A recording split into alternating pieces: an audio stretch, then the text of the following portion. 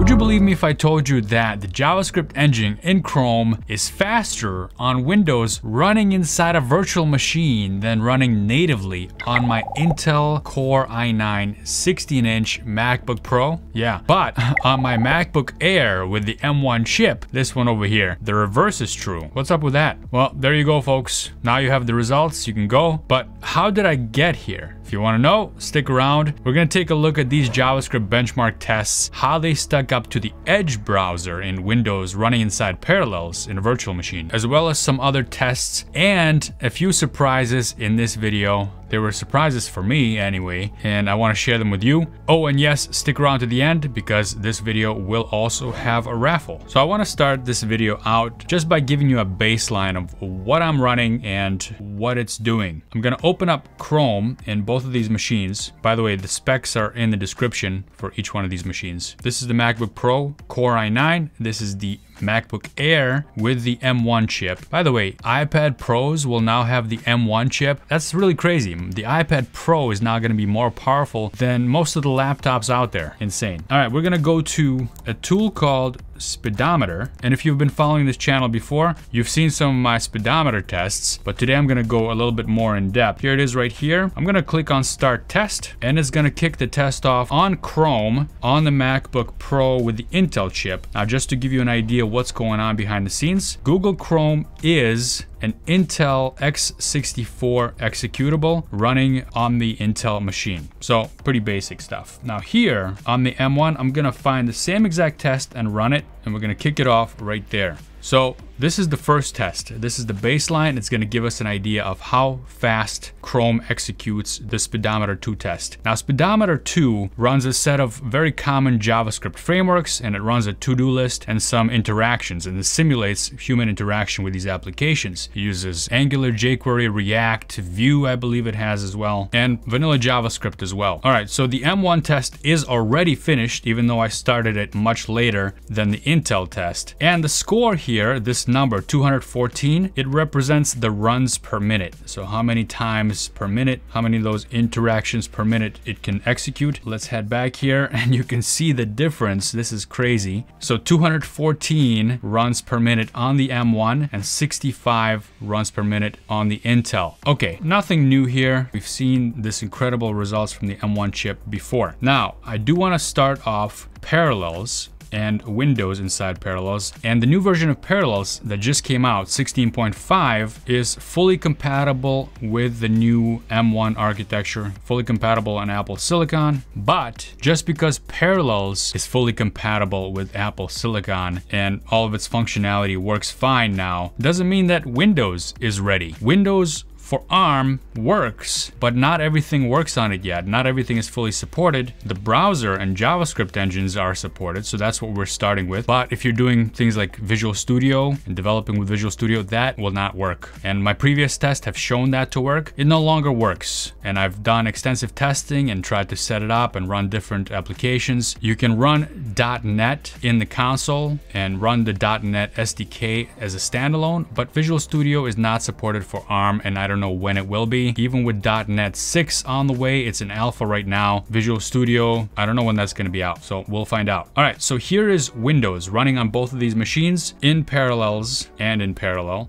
And this version of Windows running on the M1 is actually the ARM version of Windows. And if you wanna know the installation steps and all that, see my previous videos on how to get that set up. This version on the Intel is the regular Intel version of Windows. So that's gonna be important later when it comes comes to what version of Chrome we're going to be executing. And you'll see some big differences in the ARM version of Chrome and the x86 and x64 versions of Chrome. But first, before we do that, I'm going to do a test with Edge and that's the default browser that comes with Windows. So on the ARM version of Windows, Edge is the ARM version of Edge. And on the Intel version of Windows, Edge is running in x86 and x64. So let's pop open Edge and we're gonna go to speedometer as well here and start the test on both of these machines. All right, that's gonna take a little bit to execute. Let's see what happens. By the way, I do have an affiliate link to Parallels. If you wanna purchase a copy of Parallels, it'll help me out and it won't cost you any extra if you use my link down below and you'll save 10% with my code. Details in the description. All right, folks, we've got a winner.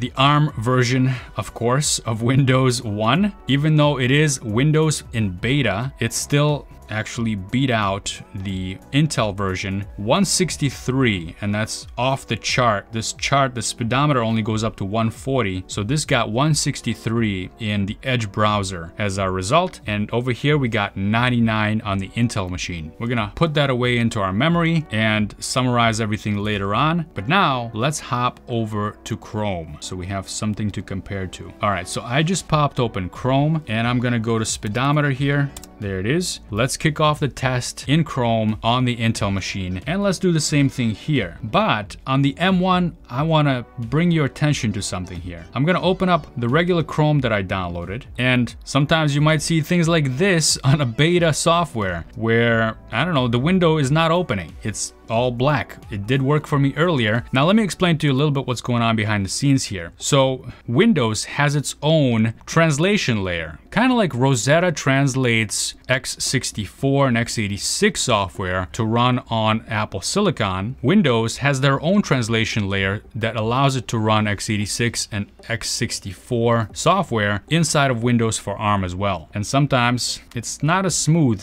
as Rosetta. So I'm gonna close that out and try that again. All right, folks, well, the x86 version of Chrome is not working for me anymore on this machine. And that's the version that you automatically get. If you search for Chrome and you try to download Chrome, this button right here, this big blue button that says download Chrome, notice down here it says for Windows, 32-bit. So it doesn't automatically detect that you wanna download the ARM version. And that's because the ARM version of Chrome for Windows is not yet fully available. We have to get the Chromium version and I'll show you that next. But there's also a 64-bit version that you can get and that's not obvious from this download here or if you scroll down. But if you go into downloads, you can get the 64-bit version if you search for the extra downloads that are available. So right here, the Chrome MSI for Windows 64-bit is something you can download separately and that's what I've done here. So I'm going to kick this test off and by the way, the result is exactly the same as far as speedometer, and I've tested this earlier. So the 64-bit and the x86 32-bit versions of Chrome will have the same result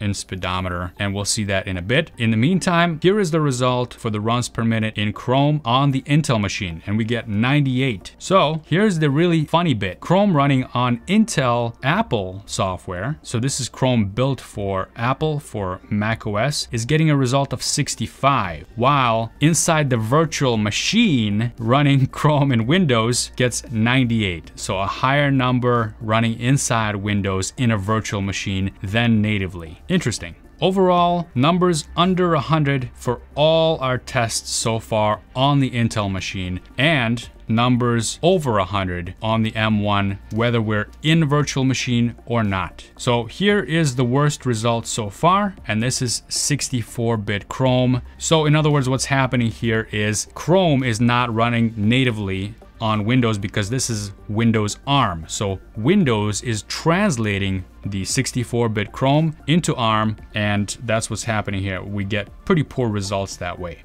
Now, there is something called Chromium. Chromium is a project that actually you can download and it's an executable that you can run on your machine in Windows. And I went ahead and downloaded it. Here it is, Chromium, and it's just an executable. And if we take a look at the architecture that it's running, so I'm gonna open up Task Manager here, and you'll see that Chromium, you can get a version of Chromium that's made for ARM. Yes, ARM64. So here we go. This is Chromium. It looks just like Chrome, but it's at the ARM version. So now we can run speedometer on this and let's take a look at these results. So it's already looking way faster. The flashing is getting to me, but No, it's not really getting to me, but it's, it's looking a lot faster on this uh, M1 machine inside the virtual machine in Windows beta. So it's looking pretty impressive. That's how I judge how fast this is going is by how much it flashes. But really the number that you'll see in a moment will speak all the volumes. So here it is, 158. So just as a summary, in Chrome, running natively on M1 without a virtual machine, we get 214. That's the ARM version of Chrome running natively on Mac OS. And Chromium running on ARM in a virtual machine has 158 as a result, which is faster than Chrome inside the virtual machine, and it's about the same as running Edge, the Edge browser that's also ARM inside the virtual machine. All of them much faster than the Intel versions. So there you go folks, just a little bit of lighthearted JavaScript benchmark testing here. I thought I'd bring us up to speed because Parallels is now out and it has version 16.5 which is fully supported on the Apple Silicon machines. And by the way, this video is not sponsored. I don't have any sponsored videos here, but Parallels is nice enough to give a few copies of their software to one of you folks, well, a few of you because I've already given out a few copies and there's a few more left. So that's the raffle today. And the rules to enter the raffle is in two weeks, I will draw a random person from the comments down below this video. You have to leave a comment and you have to let me know know if you use virtualization and how you use it? Well, how could be a very long answer, but tell me if you're using Docker, if you're using Parallels or VMware or whatever else you're using. Let me know down in the comments below. And you also have to be a subscriber. So when I do draw a random person, I check to see if you're a subscriber and also give this video a like if you did like it. It'll help other people find this content and, um, you know, the YouTube algorithm and all that at work behind the scenes. But if you found this video helpful or insightful or even just fun, because who doesn't like races, huh? Then give this video a like and hopefully somebody else can find it and enjoy it as well. All right, folks, I hope you have a wonderful day and I'll see you in the next one.